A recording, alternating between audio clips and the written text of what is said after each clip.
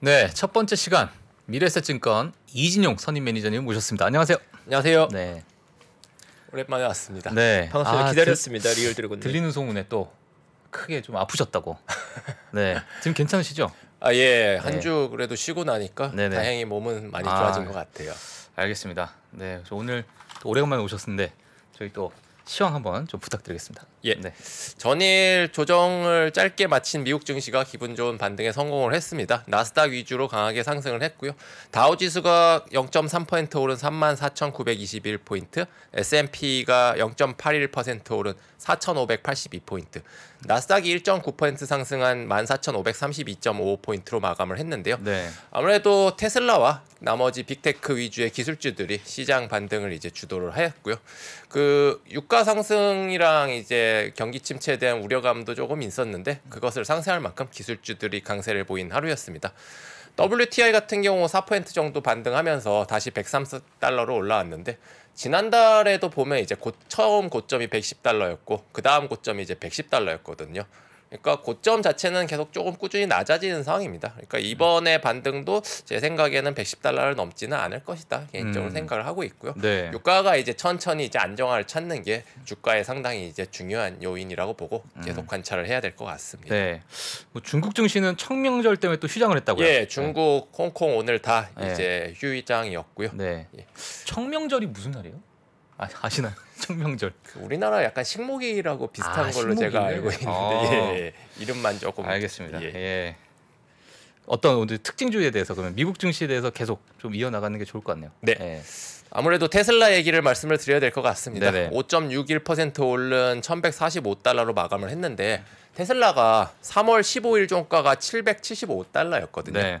그러니까 이 가격 대비 한 달 만에 45%가 상승을 굉장히 강하게 상승을 했죠. 음. 그 1분기에 생산량이 31만 대, YOY 기준으로 68%가 상승을 했다는 소식이 들려오면서 강세를 보였는데요. 네네. 지난 4분기에 30만 대 정도 생산량이었습니다. 그러니까 지난 4분기보다 조금 늘었는데 이게 굉장히 고무적인 게 음. 대부분 완성차 업체들이 굉장히 많이 빠졌습니다. 생산량이 왜냐하면은 반도체 부족이라든지 공급 문제 때문에 제대로 어떤 생산 라인이 돌아가는 업체들이 없거든요. 네. 근데 이런 상황에서 테슬라가 거의 유일하게 다시피 지난 분기보다도 더 생산량을 늘렸다는 부분 상당히 좀 의미가 있어 보이고요. 네. 아무래도 지난달 개장한 베를린 공장하고 텍스 음. 그 텍사스주의 이제 오스틴 공장 음. 이 부분이 이제 가동된 부분이 향후에도 어떤 공급에 있어서 원활한 모습을 보이지 않겠느냐라는 네. 기대감을 계속 보여주고 있고요. 네. 테슬라랑 같이 또 말씀드릴 수밖에 없는 종목이 이제 트위터인데 그렇죠. 어제 너무 핫했죠. 27% 상승을 했는데 네. 일론 머스크가 9.2%의 지분을 취득했다 소식이 들리면서 이제 급등을 했습니다. 개인으로서는 최대 주주인데 음. 이제 창업자인 잭 도시 같은 경우는 2%대 정도밖에는 안 돼요. 네. 물론 이제 뭐 기관 투자자들 블랙락이라든지 뭐 다른 이제 펀드들은 이제 5% 6%대 보유를 하고 있지만은 네. 개인으로서는 지금 현재 일론 머스크가 최대 주주로 등극을 한 거고요. 음. 재밌는 게 이제 기사에서도 이제 많이 나왔지만은 트위터에 대해서 굉장히 비판을 많이 해왔었어요. 계속 불만을 표현을 했었는데 네. 대표적으로 트위터에다 불만을 표현했던 사람이 두 명 있어요. 또 트럼프. 아, 트럼프. 트럼프는 그런데 이제 계정이 없어졌죠. 계정이 없어져서 본인이 새로 소셜 미디어를 만들었죠. 이름이 정확히 생각이 안 나는데 어. 예, 본인이 자기가 원하는 얘기를 다 하겠다 하고 직접 소셜 미디어를 만들었고 어. 일론 머스크 같은 경우도 그 전에 계속 트위터 이러면 안 된다 어. 표현의 자유를 침해하지 마라 얘기를 하길래 어. 이제 그런 얘기들도 있었어요 하나 만드는 거 아니냐 어. 그런데 이제 번거로웠는지 그냥 인수하는 쪽을 택했습니다 어. 트위터가 전일 기준으로 시가총액이 400억 달러인데 네. 우리 돈으로는 한 50조 정도죠 음. 그러면은 일론 머스크 지분이 약 5조 원 정도 되는데 예, 적지 않은 금액을 투자를 그러네요. 한 거죠 네. 굉장히 네. 결국은 이게 뭐 그냥 말 그대로 아무 이유 없이 투자하는 건 절대 아닐 거고요. 음. 뭔가가 이제 이유가 있는데 네. 어, 몇 가지 이제 유출을 해본다면은 결국은 그 전부터 기존의 언론하고는 사실 테슬라가 약간 껄끄러운 관계였습니다. 아무래도 뭐 광고도 전혀 안, 하- 안 하는 업체고 음. 아무래도 약간의 이제 반골 기질이 있는 사람이다 보니까 네. 기존 이제 기성 언론들하고는 사이가 안 좋았죠. 그러다 보니까 본인이 조금 더 자유롭게 토론할 수 있는 장이 필요하다 이런 부분에 대해서 계속해서 주장을 해왔었는데 어떤 이런 소셜 미디어를 통해서 일종의 대안 역할을 하지 않을까 그런 어떤 의견도 나오고 있는 상황입니다. 음. 이게 사실 어제 미국 시장에서는 제일 핫한 뉴스였던 것 같아요. 트위터 어제. 이슈가. 네, 그렇죠. 아니 저희 진드래곤님이 일주일 쉬고 오시더니 지금 에너지가 뿜뿜하시는 게 네. 지금 댓글창에도 오늘 눈빛이 살아 있다고 아. 에너지가 넘치다고 지금 난리가 났습니다. 네. 역시 일주일 푹 쉬고 온 분의 저 여유 에너지 아, 진짜요. 부럽습니다. 네. 저희는 언제 쉬어 보나요, 박 선생님? 조금 부럽네요. 맛이 가고 있습니다. 우리는 지쳐 있죠? 아, 지쳤습니다. 네, 힘을 내보죠. 예. 어제 중국 ADR도 좀 핫했던 것 같아요. 그쪽도 업데이트 좀 부탁드리겠습니다. 예, 그 ADR 업체들 뭐 그 기존에 있는 이제 회계 감독권에 대해서 중국 금융 당국이 이 부분에서 이제 양보를 할 수 있다. 음. 어떤 양보 의사를 시사하면서 급등을 했는데요. 기존에는 어떤 중국 규제 기관이 반드시 현장 검사를 수행해야 한다. 그런 이제 예, 법 조항이 있었는데 이거를 폐지할 수 있다. 이런 초안을 냈습니다. 음. 징동닷컴이 7%, 알리바바가 6%, 바이두가 9%대 이제 급등을 했는데 이 ADR 같은 경우는 아직도 의견이 많이 나뉘어요. 음. 모건 스탠리 같은 경우는 이 ADR 관련 분쟁이 결국은 최종적으로는 합의에 도달할 것이다.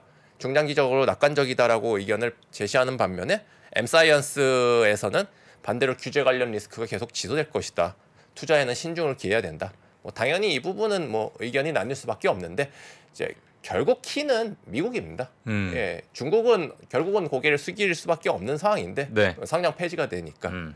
그럼 과연 이제 미국이 그거를 어느 정도 받아들일지 거기까지 해주면 오케이. 음. 처음에 이제 미국이 만약에 원했던 요구 사항을 중국이 다 들이밀었으면은 과연 그거를 이제 미국에서 더 이상 반대할 명분이 없어지는 거잖아요. 미국도 음. 그러면 그럼 거기서 또 어떤 의견을 제시할지. 예, 그러기 때문에 결국은 미국의 스탠스가 가장 중요하다. 이 음. 부분을 계속 이제 관찰을 해야 될 것 같습니다. 네.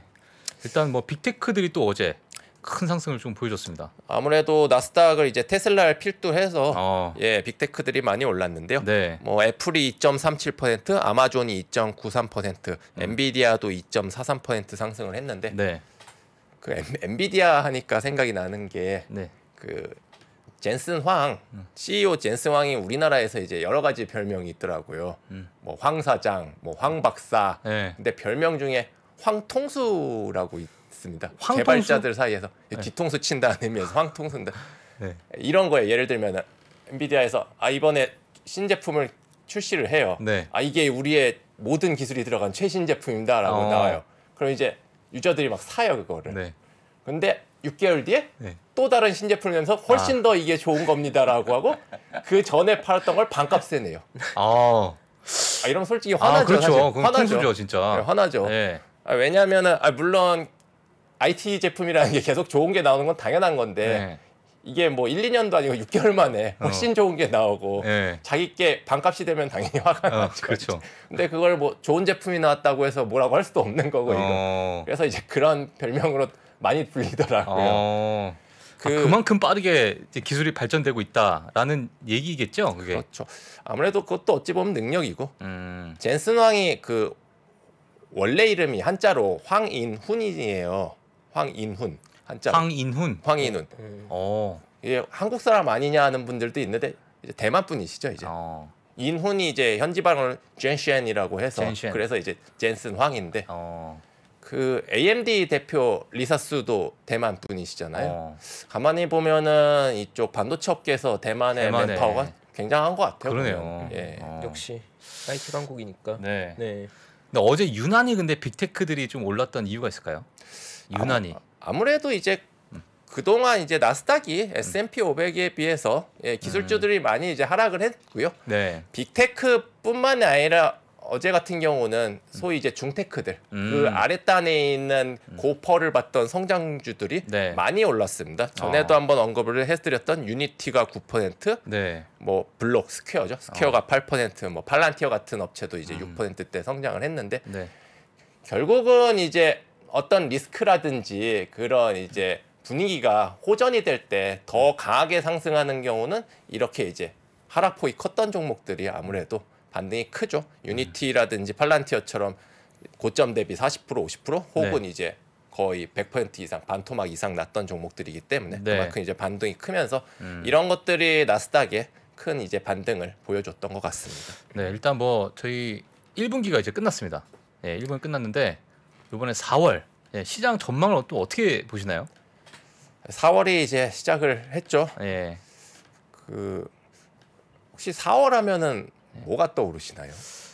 4월 하면 제 생일이 떠오릅니다. 아 생일이신가요? 아, 농담이고요. 미- 아, 예. 미리 축하드립니다. 저 지금 방금 소름 돋았는데요. 네. 생일 언제신데요? 4월 8일. 저도 4월 생일인데요. 어, 언젠데?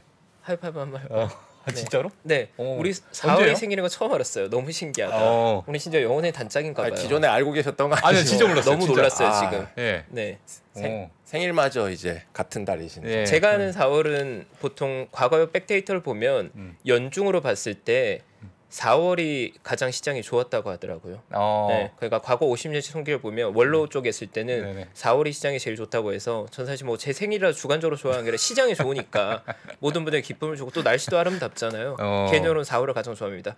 뭐 제 생일 때문에 그런 건 아니라고 거듭 알겠습니다. 말씀드리고요. 예, 예, 예. 시장도 좋고 날씨도 예. 좋고. 예. 네. 제파고님이 정확하게 말씀을 해주셨는데 음. 최근 50년간 그 미국의 이제 모든 달을 통틀어서 가장 평균적으로 수익률이 좋았던 달이 4월입니다. 어. 예. 아, 그 말씀 하시려고 한 거였어요? 이거 마치 짠 거 같잖아요. 저 진짜 저 진짜 모르고 그냥 얘기한 건데 그 그거 질문하신 거였어요? 아, 그럼요. 여기 어, 저 지금 소름 돋는데. 다 원고 있는데 왜 그래? 예. 네. 진행하시죠. 예, 결국 전통적으로 이제 4월이 이제 계절적으로 강했고요. 네. 정확히는 이제 1964년부터 음. 2020년까지 평균 수익률이 가장 높았는데 그 수익이 났었던 확률도 약 75% 그러니까 네 번 중에 세 번은 이달은 이제 수익이 났었다. 특히 올해 같은 경우는 1분기가 굉장히 힘들었지 않습니까? 네. 제가 어제 이제 일정이 있어서 외출했는데 날씨도 너무 좋더라고요. 아, 그렇죠. 네. 정말 처음으로 진짜 아 진짜 봄이 왔구나라는 걸 저는 어제 맞아요. 느꼈습니다. 예. 3월까지는 사실 좀 쌀쌀했잖아요. 음. 날씨처럼 이제 시장도 좀 좋아지는 게 아닌가 약간 기대를 하고 있고요. 음. 결국은 1분기 동안 부진했었던 뭐 빅, 아까 언급드렸던 빅테크라든지 그런 이제 기술주 위주로 강세가 나오지 않을까 조금 기대가 되는 상황이고요. 네. 그 좀 뜬금없는 말이지만 이제 저는 4월 하면은 네. 이 4월은 이제 잔인한 달이라는 단어가 언급이 되는데 문학적으로 그게 이제 T.S. 엘리엇이라고 이제 미국 시인이 쓴 황무지라는 시에 나오는 첫 소절이 이제 그 말이에요. 그래서 유명한데 네. 4월은 잔인한 달. 네. 그 시라고 하지만 400줄짜리 굉장히 긴 시죠. 거의 소설짜리. 네. 보통 시하면 10줄 정도 하잖아요. 네. 근데 이제 400줄짜리 황무지라는 시의 첫 소절에 이제 4월은 잔인한 달이라는 문구가 굉장히 유명하죠. 네. 일반적으로. 그런데 시장 같은 경우는 그 반대인 거죠, 사실은. 이제 4월은 상당히 이제 즐거웠던 즐거운 자. 예, 어. 계절이었고 네. 월이었다. 네. 한번 기대를 해봐도 좋을 것 같고요. 네. 그러면은 어떤 종목을 봐야 되느냐? 뭐 당연히 네. 올해 실적 좋은데 주가는 빠진 어, 억울한 그렇죠. 종목들. 억울한 종목들. 억울한 종목들 몇 가지 언급드리면은 최근 3년 대비해서 밸류에이션이 최하단에 있는 종목들 네. 몇개 말씀드리면 이제 마이크론이 마이크론이요. 현재 PER이 14배, 최근 3년간 최저점이 한 30배 정도였습니다. 굉장히 많이 빠졌죠. 오. 싸죠. 반도체 중에서는 상당히 이제 기대를 가질 만한 업종. 음. 넷플릭스가 34배. 넷플릭스는 원래 고퍼를 받던 종목이에요. 밸류를. 원래는 한 50배 정도가 하단이었는데 지금 음. 30배밖에 내려왔고. 비자 카드가 31배, 나이키가 29배. 나이키 같은 경우도 음. 30배 밑으로 잘 안 내려온 종목인데 네. 최근에 이제 주가가 상당히 조정을 받았습니다. 어. 예, 이런 종목들은 한번 개인적으로 관심을 가져도 지금 이 않을까. 종목들이 이제 이익이 좀 개선되고 있는데 네, 올해 어, 같은 경우는 주가가 이제 좀 예. 이익 성장률은 견조한 대비해서 어. 주가가 이제 조정을 받은 업종들 중에 이제 몇 가지를 말씀을 드린 거고요. 음. 당연히 이제 주가가 많이 빠졌다고 들어가는 게 아니라 항상 말씀드리지만 어닝이 살아 있는 게 전제가 돼야 됩니다. 네. 실적이 빠지면은 당연히 그렇죠. 주가가 빠지는 네. 게 당연시 되는 거고요. 네네. 그러면은 단순히 빠졌다고 해서 반등이 나오기가 쉽지는 않은 거죠. 음. 그래서 이 부분을 항상 염두에 두셔야 되실 것 같아요. 네, 알겠습니다. 일단 주요 이슈에 대해서 뭐 몇 가지 좀 말씀해 주실 게 있을까요? 그 JP 모건 CEO죠. 제이미 다이먼이 주주 서한을 부- 보냈는데 상당히 좀 내용이 의미심장한 것 같아서 소개를 좀 드리려고 합니다. 네. 음. 제이미 다이먼이 누구겠어요? 월가의 황제라고 불리는 사람 음. 아닙니까? 뭐 15년간 현재 JP 모건을 음. 예, 운영을 하고 있고 이번에 얼마 전에는 70세까지 CEO를 예 보장받았죠. 음. 뭐 거의 사실상 종신이죠. 이 네. 정도면은 예. 이분이 그 전례 없는 미국이 위기에 엉- 직면해 있다. 상당히 이제 강경한 논조로 썼는데 여기서 말하는 위기라는 거는 경제적인 부분은 아닙니다. 미국 경기 자체는 견조하게 보고 있어요. 그쪽이 아닌 안보라든지 지정학적 개념에 대한 위기를 언급을 하고 있는데 이 부분이 최근에 그런 얘기가 많이 나오죠. 탈세계화. 그동안 이제 뭐 세계화로서 이제 다 같이 성장하는 시대였는데 이제는 각자 도생. 음. 의 시대가 다시 돌아오고 있다. 신냉전이 돌아오고 있다. 이런 얘기가 최근에 많이 들리잖아요. 그러니까 제이미 다이먼 회장 같은 경우도 이런 식으로 굉장히 지금 시각을 보고 있는 게 얼마 전에 이제 제2의 뉴딜 정책을 펼쳐야 된다라고 또 주장했다고 말씀을 드렸었잖아요. 그러니까 유럽 쪽하고 이제 유럽에 있는 이제 친미 국가들 서방 국가들하고 관계를 더 돈독하게 해야 된다. 그러니까 동맹을 더 공고하게 해야 된다는 의미인 거예요, 결국은. 이거를 촉발한 게 결국은 이제 우크라이나 전쟁이다. 우크라이나 전쟁에다가 인플레이션이 이제 거의 다 이제 결합을 하면서 그동안 어떤 세계화가 상당히 균열이 일어나는 모습이 있다. 그, 그렇다면은 결국은 민주주의 국가 간의 동맹을 더 강하게 가져가야 된다. 그러면은 지금 현재보다도 결국 국가 안보라는 게 에너지라든지 식량이라든지 대표적인 자원들이죠. 국가 안보에 필수적인 이런 부분에 대해서 더 강력하게 예, 가져가야 된다. 그러니까 동맹 간의 결속을 강화하는데 활용을 해야 된다. 그래서 유럽 같은 경우도 지금 다시 이제 러시아의 이제 의존도를 줄이기 위해 노력을 하는 모습이 보여주고 있고 미국이 그걸 앞장서서 해줘야 된다는 거죠. 이제 그것이 이제 다 같이 이제 살아가는 길이다. 동맹국끼리에 한해서죠. 이제 그런 식으로 보는 게 저는 상당히 조금 의미가 있다. 어, 우리가 이제 투자를 할 때 경제적인 부분만 생각을 하면은 사실 안 되는 게 이런 어떤 지정학적인 부분 이런 거는 경제학 논리로는 설명은 안 돼요 사실.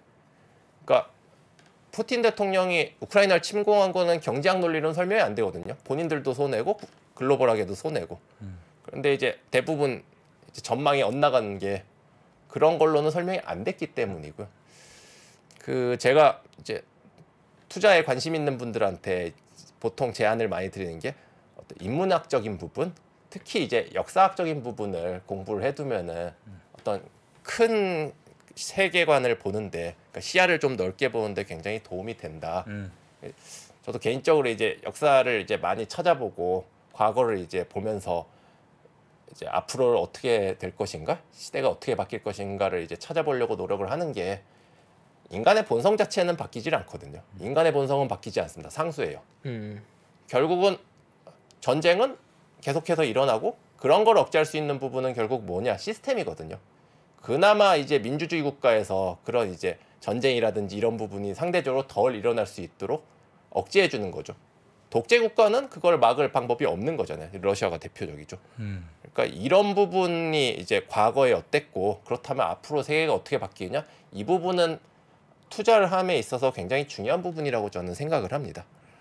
그렇다면은 지금 이제 제이미 다이먼의 이번에 주주 서한을 보고 느낀 게 단순히 뭐 지금 경제 성장률이 몇 퍼센트고 이것도 중요하지만은 앞으로 국가 간의 상황이 어떻게 되느냐 이거를 나름대로는 가치관을 한번 정립을 하는 게 필요할 것 같아요. 과거에 이제 100년, 200년 전을 잠깐 보면은 현재는 누가 뭐래도 1등 국가는 미국이죠. 앞으로 5년, 10년 뒤에도 당분간은 안 바뀔 것 같아요, 제 생각에는. 그런데 미국이 과거부터 계속 1등이었나? 그건 아니죠. 미국 전에는 영국이었죠. 영국이 1등 국가였고 그 전에는 스페인이었고요. 뭐 계속 바뀌었죠. 1등 국가는. 그렇다면 그때 그때 사실은 투자해야 되는 지역도 달랐고 예 분야도 달랐습니다. 그러니까 이런 약간 큰 시야를 유지하는 데 있어서는 어떤 그런 인문학적인 소양이라든지 역사학에 대해서 약간의 이제 이해도가 있으면은 어느 정도는 좀 많이 도움이 된다 음. 개인적으로 그렇게 보고 있고요. 네. 예, 이 부분은 뭐 예, 뭐 시간이 이제 뭐 오래 걸릴 내용이니까 이런 부분에 대해서는 추후에 또 기회가 되면은 음. 네. 음. 또 이제 뭐 근대사라든지 이런 거는 또 언급을 할 기회가 있으면 말씀을 드리도록 아. 하겠습니다. 네. 어, 이진용 선임 매니저께서 이제 역사에 대해서 많이 좀 아시는 것 같습니다. 예 전에 약간 밀덕이라는 표현을 이제 들었었는데 어. 정확히는 약간 역사 어. 덕후에 가깝죠 밀덕보다는. 아, 네. 또 의외의 면이 역사에 어, 너무 해박하신. 재밌는데요. 예. 네, 기대됩니다. 다음에 알겠습니다. 한번 또 자리를 마련하죠. 네, 오늘도 좋은 말씀 너무 감사드립니다. 예, 그럼 내일 다시 내일 뵙도록 뵙도록 하겠습니다. 하겠습니다. 네, 감사합니다. 감사합니다. 네. 감사합니다. 네. 저희 이진용 선임님이 오랜만에 또 나와서 시장 잘 정리해 주셨고요. 어, 개인적으로 오늘 내용 중에 역시나 그 약속의 4월, 4월에 대한 기대감이 조금 와닿았던 것 같고요. 일단 5월에 또 FOMC라는 메가 이벤트가 있다 보니까 더 그 이전까지 4월의 시장을 좀 누리자 이런 분위기가 좀 많이 있는 것 같아서 국내 시장도 저희 개인적인 판단으로 4월에 온기가 좀 돌지 않을까. 미국 시장도 스타트 좋았던 것 같고요. 음. 기대감을 조금 가지고 같이 지켜보면 좋을 것 같고 저희 광고 빠르게 보고 와서 2부 이어가겠습니다. 김한진, 박세익, 김동환 이 세 명의 투자 경력은 도합 100년입니다. 갈피를 못 잡으시는 투자자들을 위해서 어려운 시장에서 살아남아 본 경험이 있는 전문가 3명의 이야기를 꼭꼭 눌러 담았습니다. 이세 명은 어떻게 시대 변화에 적응했고 생존할 수 있었을까요? 각자의 경험담과 대응 원칙 그리고 방법론을 담았습니다. 변화와 생존에서 세 명의 이야기를 들어보세요.